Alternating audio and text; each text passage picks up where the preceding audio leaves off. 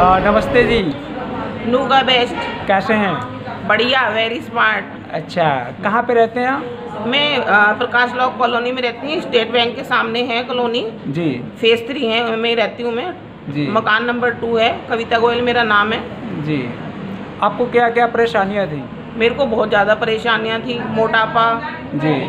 गले में दर्द स्पोनलाइटिस कमर में दर्द घुटनों में दर्द मेरे हाथ पैर सुन हो जाते थे। यहाँ तक कि इतने हाथ पैर सुन होते थे मेरे। जी। जैसे अगर मैं पूजा में भी बैठ जाती थी ना अगर दूसरा बंदा घर में ना हो मान लो कोई गे, गेट पे बैल बजा रहा है जी। गे, जैसे गेट पे बैल बजी तो मैं उठ नहीं पाती थी। जी। तो उसके लिए मुझे क्या करना पड़ता था? बहुत देर पैरों को सहलाना पड़ता था। मतलब नहीं गेट नहीं खोल पाती इतनी ज़्यादा प्रॉब्लम थी आपको? इतनी ज़्यादा प्रॉब्लम ये परेशानी कब से थी आपको? ये काफ़ी टाइम हो गया मेरे को। परेशानियाँ जो हैं काफ़ी टाइम हो गया मैंने दवाइयाँ भी खाई लेकिन सुन्नपन की नहीं खाई मैंने दवाई। दवाइयाँ खाई है मैंने घुटने के दर्द की खाई है फैट की खाई है लेकिन कोई मुझे आराम नहीं मिला लेकिन कुछ भी हाँ। आराम नहीं मिला। ये दवाइयाँ कब से खा रही थी आप? काफ़ी टाइम हो गया था दवाइयाँ खाते खाते फिर मैंने छोड़ ही दी थी दवाइयाँ तो।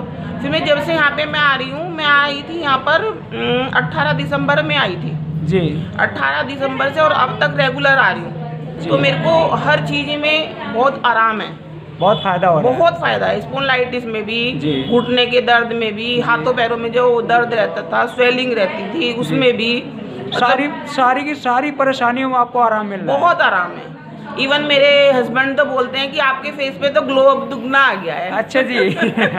हाँ ये तो बहुत खुशी की बात है कि आप यहाँ पे आ रहे हैं आपको बहुत सारे फ़ायदे मिल रहे हैं शरीर में। और यहाँ पे आकर मेरे को बहुत अच्छा लगता है स्टाफ भी बहुत अच्छा है अजय सर भी आप लोग भी। और मशीनें तो इतनी अच्छी हैं कि उनके लिए कहना ही मुश्किल है इतनी बढ़िया मशीनें हैं। जी जी अगर देखा जाए तो आपके जीवन में जो खुशियों भरा जो चेंज हो रहा है वो नूगा वेस्ट की वजह से। बहुत चेंज है बहुत चेंज है। जी। यहाँ तक कि मेरा छोटा बेटा भी बोलता है एट्थ में है वो जी। हिल्टन्स में। जी। बोलता है मम्मी नूगा वेस्ट ज़रूर जाओ चाहे कुछ काम छोड़ दो आप। हाँ। आगे कर लेंगे हम कर लेंगे लेकिन आप नूगा वेस्ट ज़रूर जाओ। वहाँ पे ज़रूर जाना है। हाँ। किस लिए? क्योंकि यहाँ पे जब आप आएँगे तो आपको स्वास्थ्य लाभ ही होगा। पक्का बिल्कुल। जी। और यहाँ पे N5 मशीन है N4 मशीन है मैट है और टी थ्री बेल्ट है टी नाइन बेल्ट है और अल्ट्रासाउंड है और वाइब्रेट मशीन है। मतलब इतनी हम सब लोगों के लिए फैसिलिटी दे रखी है जी। कि हम उसका एक्सपीरियंस करके तब खरीद सकते हैं। जी। खरीदना तो अलग बात हो गई लेकिन हाँ, हमको इसका पहले एक्सपीरियंस करना है वो अनुभव करना है।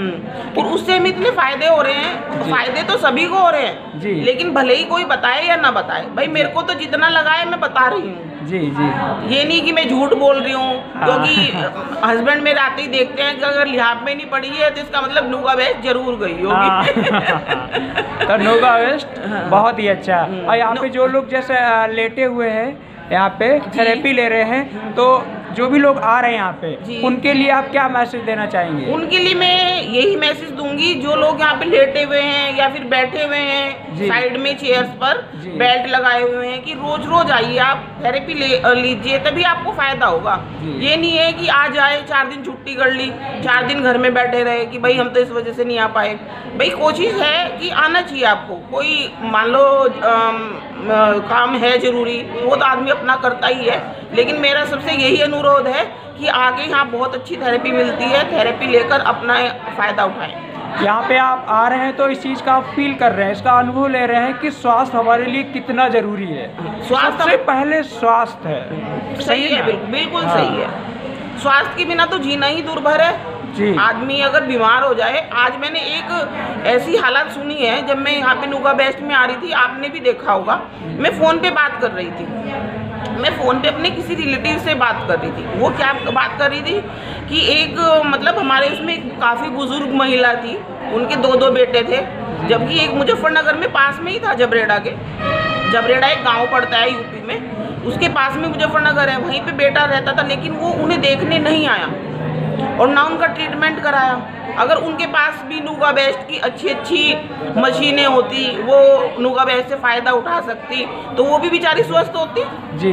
उनके दोनों बेटों ने उनकी कोई केयर नहीं की। जी। और बोलते रहे कि हम पैसा भेज देंगे।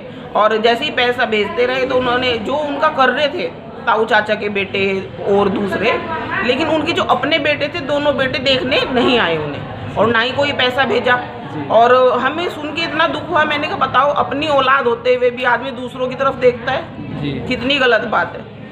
तो इसीलिए जो हम लोग एक सिस्टम हमारा ये भी चलता है वन प्लस वन का कि आप भी आए आप भी थेरेपी का इस्तेमाल करें और स्वास्थ्य लाभ इसका लें। दूसरों को भी दूसरों भी जानकारी। बताएँ। जानकारी देना इसीलिए हम लोग बोलते हैं कि शायद किसी को जानकारी नहीं है वो आप अगर जानकारी देते हैं तो शायद उनका भी जीवन बच सकता है। बच सकता उनका। अगर मान लो किसी उन्हें किसी और के थ्रू पता चलता कोई हाँ। उन्हें लेके जाता तो वो बच सकती थी क्योंकि उनको डबल नमूनिया हुआ था। जी। उन्होंने ऐसे ही अपने प्राण त्याग दिए। तो मेरे को सुन के इतना दुख हुआ कि मैं बता नहीं सकती। चलिए यहाँ पे आके आपको